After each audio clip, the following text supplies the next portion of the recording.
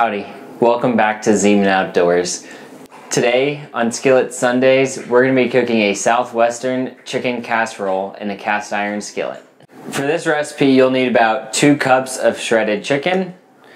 You'll need some chicken broth, a little bit of chili powder, some drained black beans, a cup of salsa, a cup of white rice, some shredded cheese, and you'll need some sliced green onions.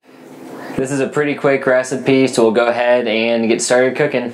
In a large cast iron skillet, before you turn the heat on, go ahead and add two cups of chicken, your drained black beans. This is a 15 ounce can of black beans. One cup of your favorite salsa. One cup of white rice. One tablespoon chili powder. Then add one and three quarters cup of chicken broth.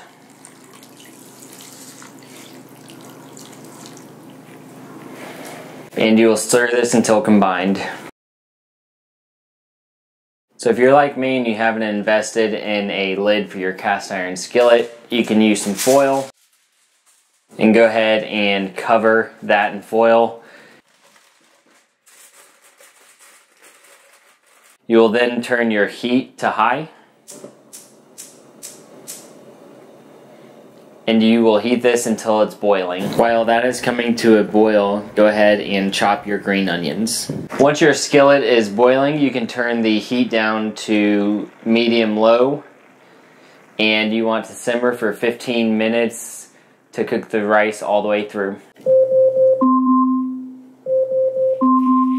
After 15 minutes, you'll turn off the heat and let rest for another five minutes with the lid on. You can now remove the lid or the foil. If you're using foil, be careful because it may be pretty hot when you open it up.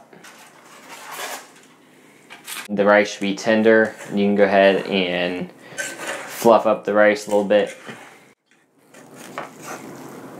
You can then add a cup or so of cheese and then top with your sliced green onions.